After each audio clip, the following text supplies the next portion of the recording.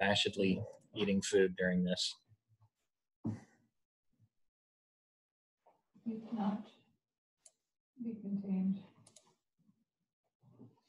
by social.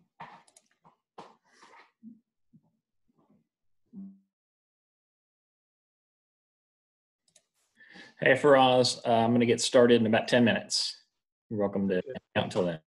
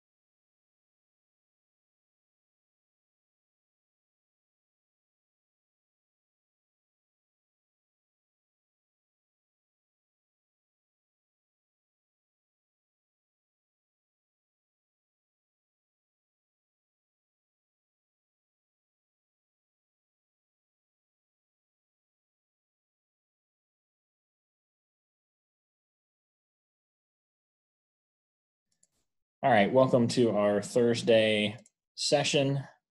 Um, I'm going to go through the fish review, and if you have any questions, you can uh, jump in either in chat or unmute yourself and ask the question.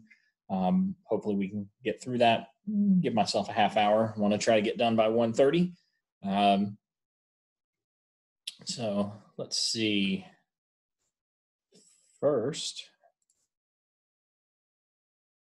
Let's make it feel a little bit normal for you. There we go. Now we're in my classroom. All right. So, oh, hold on here. Let me pull up review. So hopefully you can see that now. the first question is most fish breathe using what structure? So what we're talking about is how do fish get oxygen? And the most common way that they do that is by using gills. Uh, you probably have heard of fish gills. Uh, you probably know that they have them. I know that we've mentioned a lot in the notes, but gills are the most common way. It is possible to use the answer lungs for some fish because some fish have air sacs that they can actually use for getting gases exchanged, getting oxygen in, getting rid of waste gases. But the most common thing is still gills. The reason that we don't give the answer skin, which we've seen diffusion uh, through the skin as a common means of getting gas exchange in many of our other groups that we've looked at, uh, this group of animals has scales that cover their skin. So their skin kind of prohibits them being able to do gas exchange through the skin. All right, the name given to jawless fish is agnathan. I'm gonna move up a little bit here. So agnathan, the A in agnathan means without. Natha refers to the jaw. We contrast with that with all of the other fish, which are as a group called the gnathostomes, G N A T H A S T O M E, which means jawed mouth. You won't find these skeletal elements in an agnathan. Well, there you go, jaws. Uh, if they have no jaws, the thing that you won't find in their skeleton is jaws. Lampreys only have this type of fin, the caudal fin, that's the tail fin. Uh, if you look at the body of a lamprey, let's see if I can get fancy here with my sketch pad. Oh, not pulling up my sketch pad. Here we go. Let's try this. Uh, a lamprey has a body that is kind of snake-like. Why are you not letting me draw? Sorry, still trying to learn some of these tools, guys. Um, and it is not letting me draw. And that makes me a little sad. Oh, well, uh, I'll have to work on that some other time. Uh, if you look at the body of a lamprey, it looks kind of like a snake, um, kind of a long, skinny body. And they have a little ribbon like fin that runs along the length of the tail. Uh, we have a picture of that in this practice test. Uh, let's see if I can find this version. So this down here at the bottom, this is an image of a lamprey. And you'll notice the lamprey has a mouth with no jaws, and it has this long ribbon-like fin that runs all the way around there. That's the caudal fin because it covers the tail. uh, the next one, refer to the body of an agnathan as being eel-like because eels, although they are not agnathans, have a very similar body type. What other creature does it resemble? An eel, you could maybe say snake-like. Eels are actually jawed fish and they do have jaws. One type of agnathan is the lamprey. The other one that we covered in our notes is the hagfish.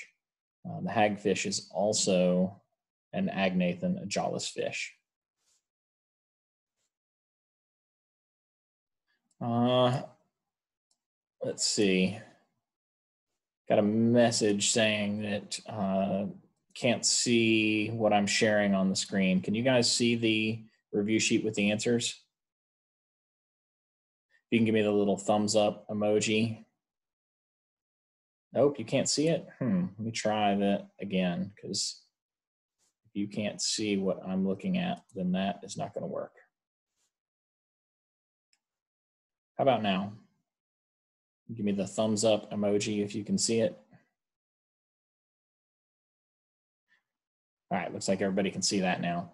Um, so I'll leave this up here for a second and hopefully you can um, read the top one at least, uh, if you had, didn't have a chance to get that one. All right, so uh, we got to what one is one type of agnathan is lamprey, the other is the hagfish.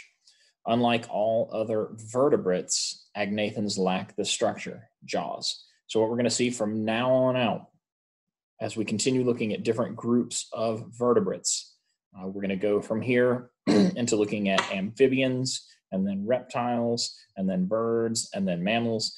Every one of those vertebrates has a jaw. All right. So hopefully everybody got the first part. If you do miss any of this, I'm going to go ahead and post all of this stuff uh, to my blog for you to check out as well so you can pull up my answer key. The main skeletal support in an agnathan is the notochord. Uh, the notochord is that cartilaginous rod that runs down the length of the back. Okay, so that's what we see in the earliest uh, chordates, um, the urochordates, the um, um, the sorry, my brain is is lapsing in memory, but urochordata is the am- amphioxus, uh, the tunicates, uh, those very simple organisms. They all have that cartilage uh, rod that runs down the length of their body. That becomes the the discs in our spinal column. These slits help to separate food from ingested water prior to passing the food into the digestive system. Uh, that is gill rakers. So, gill rakers are basically you have gill arches that there's one on either side of the fish's head um, or central part of its uh, anterior end. And then those branch out into gill filaments. They look kind of like wishbones. And then each one of those has little gill rakers on it, little um, little leaves that kind of stick out of it to give more surface area. And the gill rakers that are kind of in front of the uh, lamellae, which are the folds that get oxygen, the gill rakers pick up food particles. it's kind of like a filter system because you don't want the food blocking up the area that gets oxygen. Hagfish actually feed on dead and dying fish, and they're best described as being scavengers. They're not predators, they're scavengers because they only eat dead and dying stuff. Uh, these line the mouth and surface of the tongue of the lamprey, teeth. So again, in this group, if you didn't catch that from the notes, teeth we think are modified uh, from scales of early fish and there are scales along the length of the body of most fish. And the lamprey is a good example of where those scales look like they're transitioning down into teeth that line the mouth. And then they have adapted and changed a little bit in other types of fish, but we still see just like scales grow and fall off, we see teeth in some fish. Uh, sharks are a good example of this. Um, they shed their teeth as their teeth get older, they pop off and they have new layers of teeth growing beneath, just like they do with scales. All right, questions specifically over jawed fishes, which is the gnathostomes. The ventral unpaired fin of the shark. Remember, the ventral side in a shark is the side that's facing the substrate, the bottom of the water, so down. The downward unpaired fin is the anal fin. The skeleton of shark is made of this material. All sharks have a cartilage based skeleton. Same with skates and rays and ratfish. Uh, they all have a cartilaginous skeleton. They belong to a group called chondrichthyes, which means the cartilage fish. Another name for the tail fin is this type of fin. That's the caudal fin. Bony fish are efficient at extracting oxygen from the water because of this. It describes how the two fluids flow past each other. What they have is called counter current exchange. What that means is if the fish is going this direction, it's moving through the water that way. If it's moving through the water, that means the water is going in the opposite direction. So water is moving against the direction it's moving. Well, the blood flows in the direction the fish is moving from the tail to the head. So the water goes one way, the blood goes the other way. And what happens is you get oxygen taken out of the water throughout the entire length. If the water is going this way and the blood is going this way, you get you get oxygen taken out at the front end and then eventually you stop getting oxygen taken out. They reach equilibrium 50% oxygen dissolved in the blood, 50% oxygen dissolved in the water, and you stop getting oxygen out. Counter current exchange can make sure that continues. Sharks have four types of fins to help stabilize the animal as it swims. This is one of the unpaired fins. It's the one that you're probably familiar with if you've ever seen TV shows or movies with sharks. The dorsal fin, the one that moves through the water. If you've seen Jaws, uh, that one that cuts through the top of the water that everybody always uses as an indicator of a shark moving around. Uh, a bony fish with neither pectoral nor pelvic fins. Remember, pectoral fins are analogous to our arms that attach to our pectoral muscles. Pelvic fins are analogous to our uh, pelvic muscles, which attach to our legs. So, pelvic fins are analogous to our legs. Uh, the eel has only a caudal fin, so no pectoral or pelvic fins. These structures on the inside of the gill arch keep the food in the mouth through filtering it and helping to protect the delicate gills. Those are the gill rakers. We mentioned that a little earlier. After leaving the heart of a fish, blood flows first to these structures. That's the gills.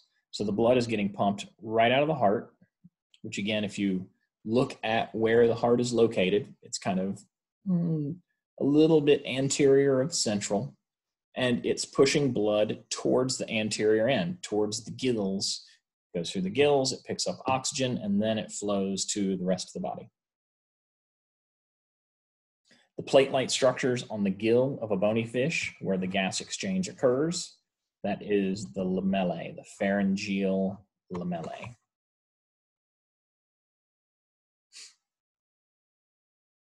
Okay. If you're good with all of that, if you want to give me a thumbs up, I'll move on to the back page.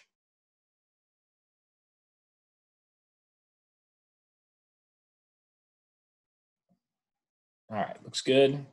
So moving on, back page. The swim bladder ultimately becomes these in terrestrial vertebrates. So the swim bladder is those little gas pockets that are used to maintain equilibrium in the fish. Think uh, like the little, if, if you were, when you were a kid, maybe you went swimming or saw little kids, or maybe you've seen little kids swimming with the little floaty things they put on their arms, the big orange floats. Um, those help you maintain buoyancy. The air is less dense than the water. So if you have those on the top part of your body, it makes you float. That's the whole idea of that. Um, the swim bladder in the fish is basically an air pocket. They hold in air, and that makes them more buoyant. They float towards the surface. And they can compress the muscles around those swim bladders and make the air compress. And if they squish the air up, the air gets smaller. And that means they sink more into the water. So they kind of adjust how much pressure they put on those swim bladders to adjust their buoyancy.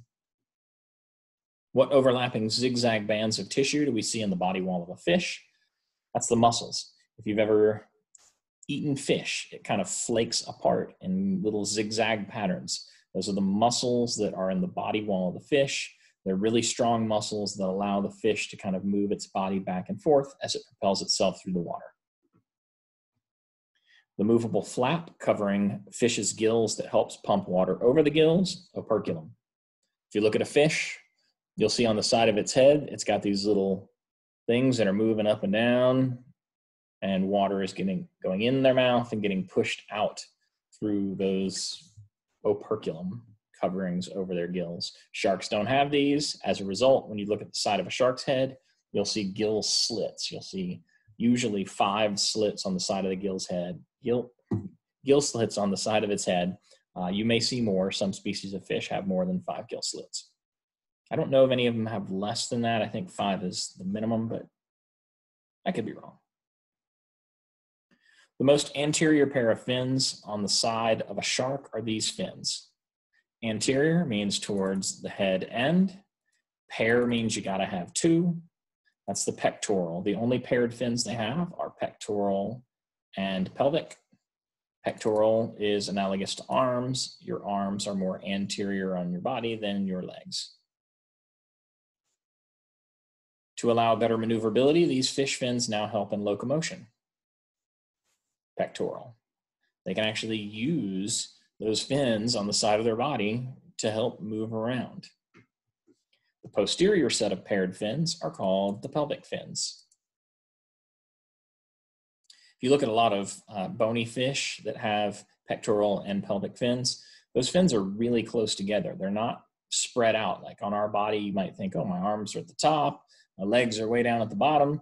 Uh, the fish usually has uh, the pectoral fins, if this is the head end going this way, right here, and the pelvic fins are going to be just behind that. They're usually pretty close together. I think we'll see a picture of that as well. Bony fish maintain neutral buoyancy using this. Neutral buoyancy means that you don't go up or down in the water. You're just kind of hanging in one spot. That's the swim bladder. If you think back to mollusks, we talked about the nautilus that has those air pockets inside of its shell. Does the same thing with those air pockets.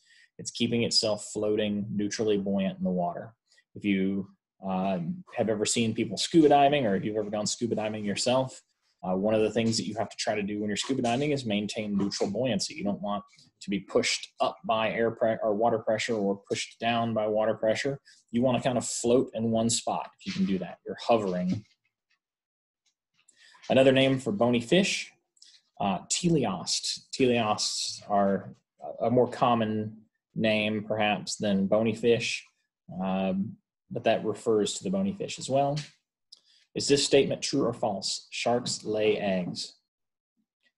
That is true. There are shar- sharks that lay eggs, but not all. Not all sharks do that. But there are some that lay eggs. Some of them give live birth. There was a video in the last section of the notes that talked about vivipary, live birth in sharks. The number of gill filaments on each gill. There are, for each gill arch, there are two filaments. Then each of those filaments has those lamellae, the little folds that run down the length of it that uh, if they're preceded by gill rakers, the gill rakers get the solid particles out and then the lamellae get the oxygen. You find these inside the dorsal lobe of a shark's tail. Here's the picture of the shark. This is the dorsal lobe. If you look at the shark's skeleton, there's a skull here, and its vertebrae run down the length of the back, and they actually go up into the tail. So vertebrae go all the way up into the tail of the shark. Unlike bony fish, vertebrae go through here. Uh, they end right about here and then the caudal fin is just all these spines with uh, kind of a webbing webbed material between them all right so we can take a look at some of these pictures real quick and uh, look at some of the structures. So this is an anterior dorsal. This is a posterior dorsal. This is a caudal fin. This is an anal fin. And remember one of the characteristics of chordates is a post anal tail what we're talking about with the post-anal tail is going to be the caudal fin here. These are pectoral fins. These are pelvic fins. And again, this is analogous to arms. This is analogous to legs.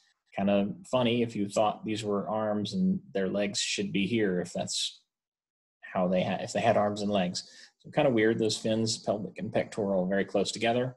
Uh, on the shark, we have anal fin, uh, we have paired pectoral fins, a dorsal fin. Uh, this is a posterior dorsal, and then caudal. Notice there's an operculum here. Notice that there are gill slits here on the shark. Notice that the shark has a jaw. The bony fish, the teleost, has a jaw. Notice that the lamprey does not and only has a caudal fin. All right, so this next part, match the following to the pictures. Which ones are chordates? Shark is a chordate, bony fish is a chordate, lamprey is a chordate. So they're all chordates. Agnathan, which ones have no jaw? Agnathan. A means no. That's the lamprey. C only. Gnathostomes, which ones have a jaw? Sharks and bony fish have jaws. Uh, Osteichthyes, that is the classification name for bony fish. B, this is the only one of these that is a bony fish. Chondrichthyes means cartilage fish. Ichthyes, this last part of the name, ichthyes means fish. Ichthyes means fish, just like ichthyology is the study of fish. Osti means bone, fish. Chondri means cartilage, fish. Quick note, jawless fish have cartilage skeletons too, but they are not chondrichthyes. They are classified as agnathans, so they get separated before we start using this name. Which ones have jaws? Sharks and bony fish have jaws, so A and B. Which has an operculum? Only teleosts or bony fish have an operculum which has a cartilage skeleton.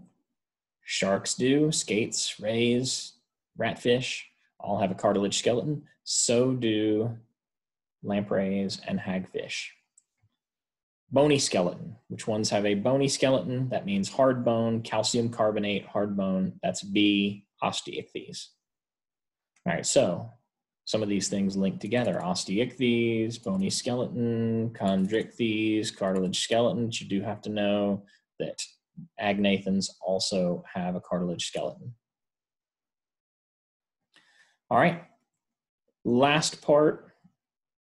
I've only given you three of the four terms that were on the notes, uh, but these are the main types of reproduction that we see in fish, and we're going to see some of these again in some of our other groups.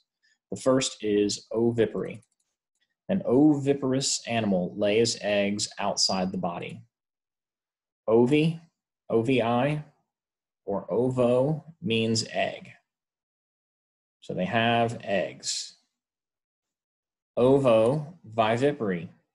The ovo here tells you that ovovivips have eggs. Oviviparous eggs, oviviparous animals have eggs, but they stay in and hatch inside the mother. So there's another part to this, the VV part means within. So eggs within. And then last one, vivipary. There are no eggs. The animal's uh, offspring are developed inside of the body of the animal, and they're they're not contained in an in an egg. So viviparous animals would be the same group that most mammals belong to. Human beings are viviparous. We give birth to live young. There's no egg inside of the body of a human female. There is an egg cell that gets fertilized, then it grows and develops into the embryo. And there are some other tissues that we'll talk about when we get into um, mammalian reproduction, uh, but viviparous animals. Not all mammals are viviparous. There are actually some mammals that are oviparous. This is a characteristic that connects mammals to our other vertebrate relatives. All right, that is it for the review. And my plan is to have a short quiz on this on Monday. So I can answer any questions. You can work on anything you need to do, uh, get caught up on looking at anything that you want from now till Monday. Uh, tomorrow I have office hours, so I'm available if you have questions that you want to email me about anything, uh, or if you have any questions now, uh, I can answer those. And if not, Monday we'll have a little short quiz that you can do online. I'm probably going to do that on Edmodo. Um, the goal is not to make it super hard. Uh, I'll let you take it. And I think I can set it up in Edmodo so that if you um, you can see your answers. And if you don't like your score, you should be able to retake it, I think. Uh, if not, I'll have to figure out a way to do uh, retakes as well. Uh, but I want you to have a chance, since we're not doing tests and ATAs, um, I want you to have a chance to be successful on that. If the first chance is not successful, then we can try it again. Uh, so that's it, unless you guys have questions for me. All right, I'm going to stop sharing this. Go back to this. Uh, if you have a question, you can type it out. If not, uh, hopefully you have a good rest of your day. And I'm going to process this recording. Uh, looks like I got a one thumbs up and all right, and a thank you. Awesome. Uh, thank you guys for checking in. I hope you guys are well. I hope your families are well. And we don't really have an end date in sight for our being isolated and stuff. So hopefully we get everything normalized and we get back to normal for next school year. Um, but let me know if you got any questions, and I'm going to go ahead and stop my recording.